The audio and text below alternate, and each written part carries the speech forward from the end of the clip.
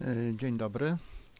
Witam serdecznie po raz kolejny uczennicę klasy ósmej na kolejnych zajęciach rewalidacyjnych. Mam nadzieję, że u Ciebie wszystko w porządku i że zachowujesz pogodę ducha e, i że jesteś cierpliwa i że u Ciebie wszystko w porządku. No dobrze, przejdźmy do kolejnych zajęć e, rewalidacyjnych. E, proszę bardzo. E, przypominam, adres pedagogium opx.pl ten adres. Klikam w zakładkę zdalne nauczanie. Nie zdalne nauczanie, tylko rewalidacja zdalna i na tej stronie będzie ten film, który dla Ciebie teraz nagrywam. E, przypominam maila, na którego wysyłamy swoje prace. Podświetliłem go w, e, i go widać. Proszę bardzo, to jest ten mail, e, na którego wysyłamy swoje prace. No dobrze. Czym się zajmiemy na dzisiejszych zajęciach? Proszę bardzo. Kaligrafia. No właśnie, myślę, że e, wiesz, co to jest kaligrafia, ale przeczytajmy sobie taką definicję. Nazwijmy to naukową. Kaligrafia z języka greckiego pochodzi etymologia tego słowa piękny i pisać. E, jest to sztuka starannego i estetycznego e, pisania, często również zdobionego artystycznie. I teraz to, co bardzo ważne, nauka kaligrafii miała kształtować charakter oraz cierpliwość. Kaligrafia była podstawowym przedmiotem w szkołach. E, do około 1960 roku była w Polsce e, przedmiotem nauczania początkowego, mającym na celu doskonalenie pisma odręcznego. No właśnie, i teraz tak, można sobie zadać pytanie, e, co pan tutaj cofa się do przeszłości, po co ta kaligrafia? Przecież mamy komputery, e, więc kaligrafia może nie jest wcale potrzebna. Ale kaligrafia oprócz tego, że e, pokazuje nam mm, ozdobne, artystyczne teksty, kształtuje nasze cechy charakteru, które są przydatne w bardzo wielu różnych innych dziedzinach. Również kaligrafia ćwiczy nasz mózg. Czyli dlatego też jest bardzo ważna i wiele osób do tej pory ćwiczy kaligrafię. Kaligrafia ma swoją e, długą historię. Proszę popatrz, e, fragment z Biblii łacińskiej, 1407 rok. Proszę popatrzeć, jakie piękne pismo kaligraficzne. Teraz też mamy różnego rodzaju czcionki w programach komputerowych, edytorach tekstu, i też, które przypominają pismo kaligraficzne. No dobrze, więc przejdźmy do takiego krótkiego filmiku, który dla Ciebie przygotowałem. Dlaczego, yy, dlaczego kal, yy, sztuka kaligrafii yy, kształtuje, rozwija i trenuje nasz mózg? Proszę o uwagę, proszę o obejrzenie tego filmu.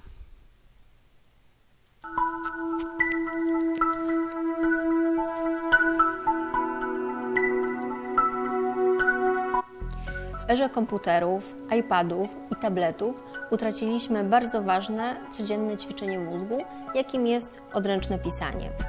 Pisanie piórem, ewentualnie długopisem na papierze bardzo rozwija mózg, uspokaja go i świetnie ćwiczy koncentrację. Pisanie świadome, powolne, w którym łączysz ze sobą litery, wpływa na synchronizację fal w Twoim mózgu i uaktywnia twórcze myślenie. No właśnie, e, twórcze myślenie, czyli kreatywne myślenie. E, pani tutaj powiedziała, dlaczego kaligrafia jest też taka ważna. O tym mówiłem też wcześniej. Jak wiemy, człowiek ma dwie półkule mózgowe, lewą i prawą. Każda półkula jest odpowiedzialna e, za coś innego. Lewa za logiczne myślenie, takie bardziej precyzyjne, za nasze wyobrażenia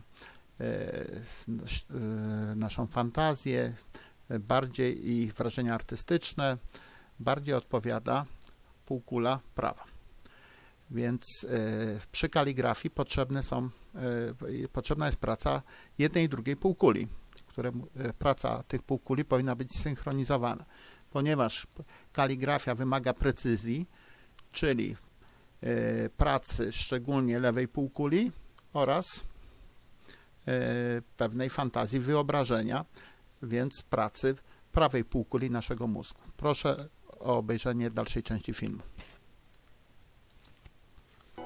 Czy wiesz o tym, że Steve Jobs powiedział, że nie byłoby Maca, gdyby nie zapisał się na kurs kaligrafii?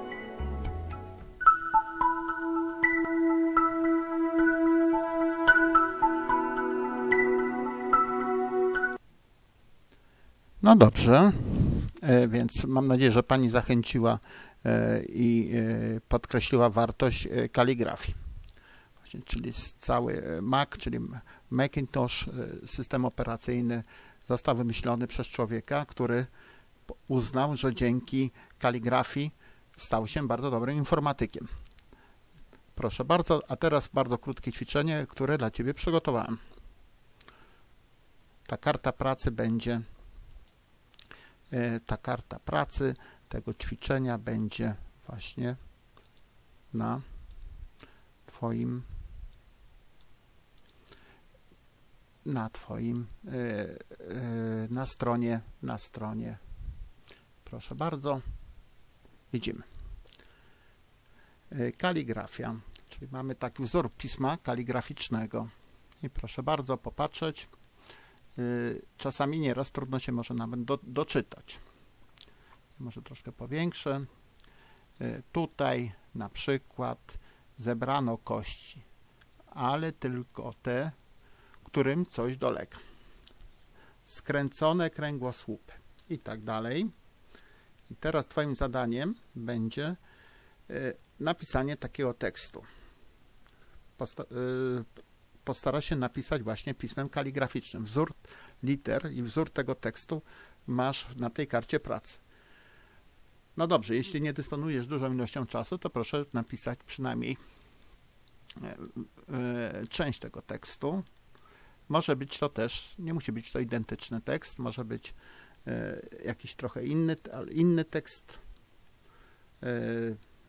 wzory pisma kaligraficznego też można znaleźć w internecie, ale jeśli nie chcecie szukać, to takie ćwiczenie z tej karty pracy, czyli ten tekst do przepisania pismem kaligraficznym.